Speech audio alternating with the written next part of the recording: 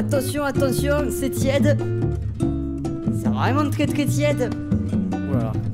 C'est chaud comme c'est tiède, hein Oh malheur. Alors, tu t'es inscrite à une école alternative avec tout ça? Non, m'en parle pas, je suis lessivée. J'ai pas pu m'inscrire, j'ai pas les moyens, moi. Elles ont oublié de nous préciser un détail, les chercheuses. C'est que c'est super cher, Montessori, en fait. Mais c'est peut-être juste que t'es pas allée dans la bonne école.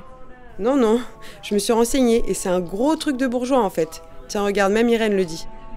La difficulté euh, de ces approches-là, c'est qu'une école euh, privée, euh, ça coûte cher et une éducation non scolaire, ça demande une certaine disponibilité des parents et un certain capital culturel à défaut d'un capital économique.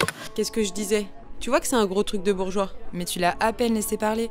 Elle allait peut-être nous en dire plus, nous donner des chiffres. Tu veux des chiffres? Je vais t'en donner, moi, des chiffres. Ça peut monter jusqu'à 8000 euros pour la petite section de maternelle. 8000 balles en maternelle Même pour les écoles qui s'adaptent aux revenus des parents, tu dois quand même compter au moins 3000 euros pour les revenus les plus modestes, sans compter la cantine, les frais de dossier, les sorties. Enfin bref, ça coûte un bras, quoi. Bah ça tombe bien, t'en as pas. Bon après, c'est sûr qu'on peut difficilement faire moins cher que l'école publique qui est quasiment gratuite. Ouais, enfin, gratuite euh, quand la pression de la réussite scolaire ne pousse pas les parents qu'ils peuvent à payer des cours particuliers à leurs enfants, complètement hors de prix et inégalitaire. Mais bon, ça c'est un autre sujet. Mais tu dis toi-même que ça dépend des écoles, des pédagogies. T'en as qui s'adaptent aux revenus des parents. Doit bien y avoir des écoles alternatives plus abordables. Tiens, tu te souviens de ce que disait Fabienne? En, en plus de ça, euh, il y a euh, le coût que ça, que ça a pour les parents. Parce que la plupart euh, des écoles alternatives sont des écoles privées.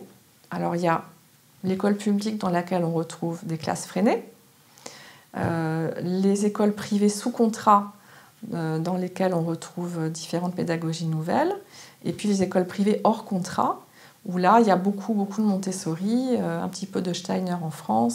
Attends, qu'est-ce qu'on entend déjà par pédagogie nouvelle? On regroupe sous ce terme des pédagogies nées à la fin du 19e siècle, inspirées des méthodes actives selon lesquelles l'enfant doit participer activement à son apprentissage.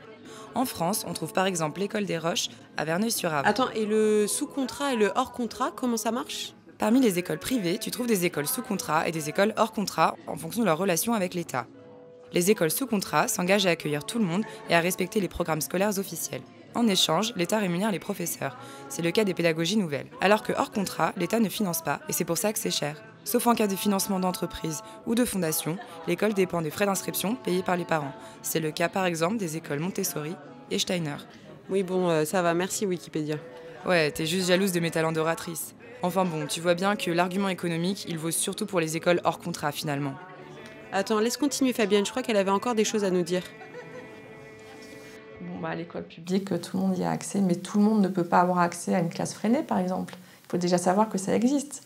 Euh, et il faut avoir peut-être la chance que son enfant tombe sur un enseignant freiné, parce qu'on ne choisit pas les enseignants. Bon, il y a ça.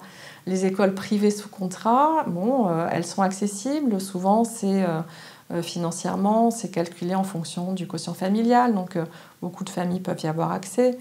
Euh, mais il n'empêche qu'il faut aussi les connaître. Ah, tu vois, c'est même pas qu'une question d'argent. Il faut déjà savoir que ce genre d'école existe et prendre le temps de se renseigner. Il faut bien connaître le système éducatif français et savoir s'adresser aux bonnes personnes au bon moment.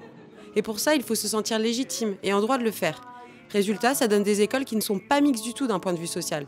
Tiens, regarde, Fabienne nous le disait. Les limites, c'est également qu'on est dans un milieu euh, social euh, où on retrouve euh, le même milieu social et puis il n'y a pas de, il n'y a pas de, comment dire, de, de contact avec euh, une autre réalité. Voilà.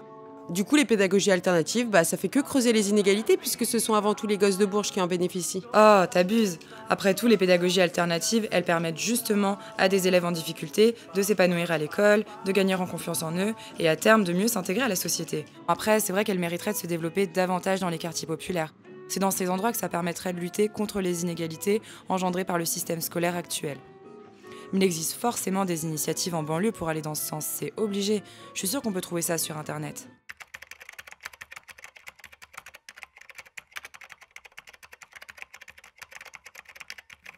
Euh, en vrai, une question de tarot, tu fais comment pour taper?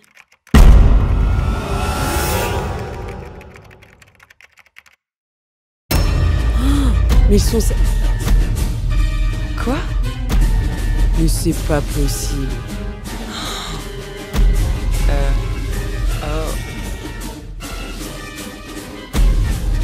Vraiment. What the fuck?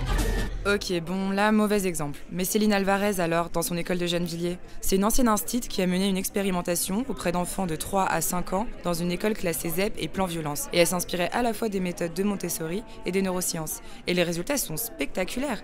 Sur une classe de 25 enfants, 15 d'entre eux avaient l'équivalent d'au moins un an d'avance en lecture et en écriture.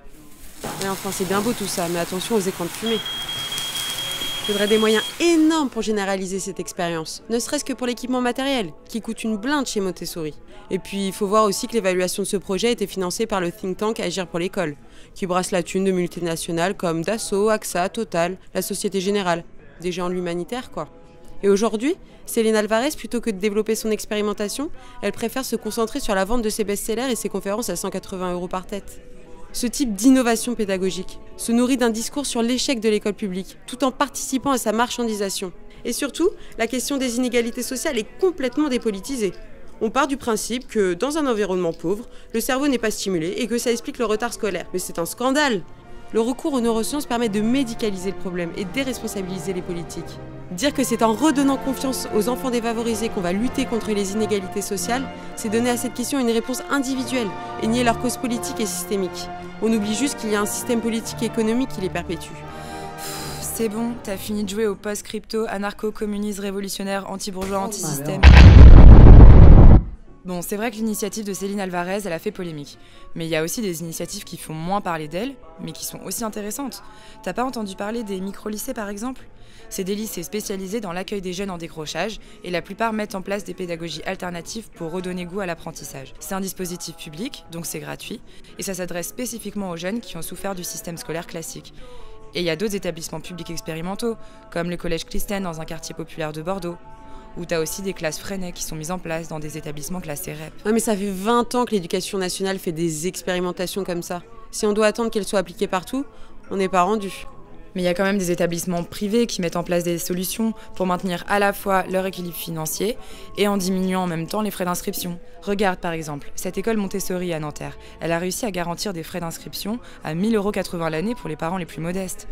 Bon, c'est vrai que ça reste beaucoup, mais on est loin des 8000 euros que demandent d'autres écoles. Bon, c'est vrai que pour le coup, la question des inégalités sociales a le mérite d'être posée. Mais toutes les pédagogies alternatives n'ont pas l'air de le faire. Oui, et du coup, t'en conclus quoi? Bah que ça dépend et que c'est compliqué. Ouais, tu veux surtout pas reconnaître que t'avais tort et que c'est pas qu'un truc de bourgeois. Ouais, peut-être. De toute façon, c'est surtout que c'est pas tant les pédagogies alternatives qui doivent être mises en cause, mais le contexte dans lequel elles sont développées.